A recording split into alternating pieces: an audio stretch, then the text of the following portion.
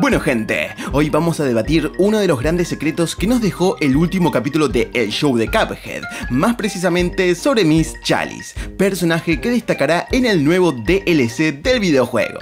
Para resumirles y ponerlos en contexto, se los comento. Al final del capítulo 12 de la serie, Cuphead, Mukman y Chalice se ven metidos en un problema ya que la policía llega a la fábrica de galletas a la cual habían ingresado ilegalmente. A todo esto, la única que pudo escapar fue Chalice, ya que en un acto misterioso, esta se transforma en un fantasma, atravesando los muros sin problemas. Cuphead y Mukman no corrieron con la misma suerte, ya que son atrapados y metidos tras las rejas.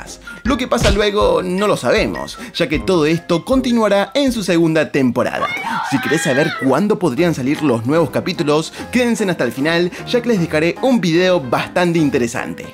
Bueno, regresando a lo que estábamos, ahora surge esta duda. ¿Chalice tiene poderes especiales o realmente ya no está con vida? Esta es una de las grandes incógnitas que nos deja el capítulo y final de temporada.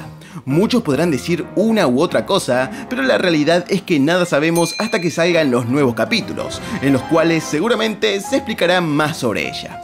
Hay muchas teorías en internet, la cual dicen que ella trabaja para el diablo, pero personalmente no lo veo nada coherente, ya que en ningún momento se la vio con malas intenciones. Al contrario, intentó ayudar a las tazas hasta el último momento. Incluso podemos ver su cara de tristeza al tener que abandonar el lugar. Pero bueno, mejor veamos lo más coherente que tenemos de momento, que es el videojuego.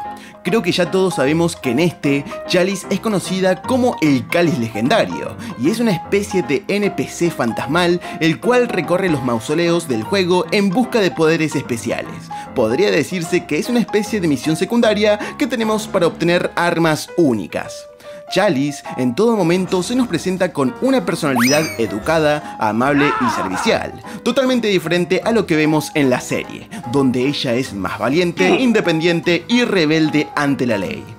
En este punto podríamos decir que la naturaleza del personaje podría ser totalmente diferente a la del videojuego, y se nos presente un origen totalmente aparte de este. Pero bueno, continuando con el videojuego, a ella también se la puede ver en una de las estatuas del nivel Rocket Ridge. Acá se la ve representada como más adulta, totalmente diferente a lo que es el DLC y la serie.